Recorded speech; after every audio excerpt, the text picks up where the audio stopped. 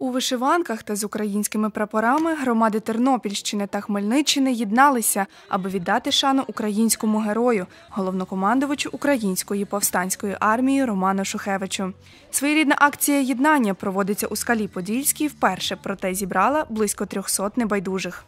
Це такий день, е, день народження нашого генерала Шухевича, генерала командувача Української повстанської армії, про якого дуже довго замовчували ще за часів СССР. Звісно, що воно зробило свій вклад е, в розруху в головах людей. Але потихеньку я думаю, що ми дійдемо до того, що всій світ і так зараз признає Україну, і ми не будемо окраїною, як Росія, Московія любить називати, а ми будемо Україна, тому що історію треба знати. Хто не знає історії майбутнього і минулого, той не має права на майбутнє. У рамках фестивалю відбулося посвячення українських прапорів, які згодом передадуть нашим бійцям на схід України. А також проводився збір коштів для потреб воїнів АТО. Річ тому ці прапори підуть, кажу, багато, багато місць. Я сам е, воював 128 бригаді, виступили туди.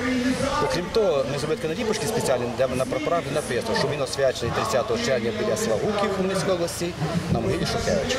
Це додасть нашим воїнам сна, снаги до, до перемоги.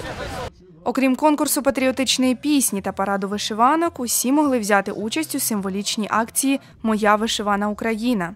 Її суть полягає в тому, щоб люди з усіх областей долучилися до створення вишитої карти нашої держави.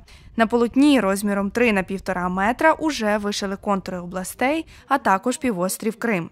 За словами організаторів, карта має бути повністю вишита до червня 2018 року. Тоді її покажуть у великих бібліотеках і музеях України.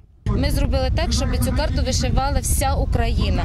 Кожна область буде вишивати свій конкретний свою конкретну частину карти. Це область, фон, орнамент і букви. Мені здається, це як єднання, єднання духовності людей, нації до генетичного коду навіть нашої української вишиванки.